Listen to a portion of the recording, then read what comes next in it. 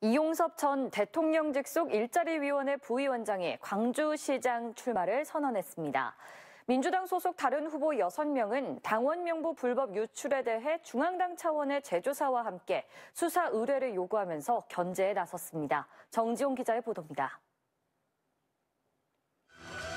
이용섭 전 부위원장이 일자리와 경제 시장이 되겠다며 광주시장 출마를 공식 선언했습니다. 2010년과 14년에 이어 세 번째 도전입니다.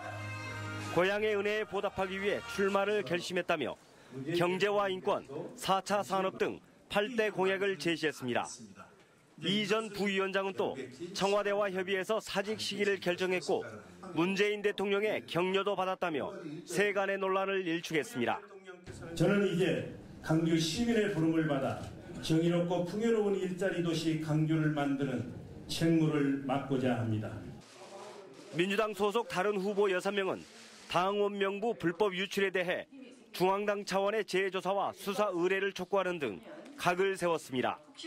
이 후보의 불법 행위로 불공정 경선 논란이 지속될 것이라며 당의 근간을 심하게 훼손했다고 비난했습니다. 이용섭 후보 견제에 이름을 올린 6명의 후보는 윤장현, 강기정, 민영배, 최영호, 양향자, 이병훈 후보입니다. 또 불법에 의해서 취득한 명부를 사용했거나 이런 것은 분명히 당의 근간을 흔드는 불법 행위이고 범죄 행위라고 생각합니다. 이들의 연대는 지지율에서 앞서가는 이용섭 후보를 견제하기 위한 것으로 보입니다.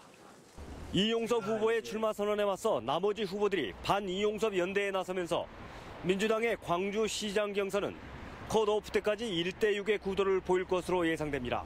KBC 정경입니다.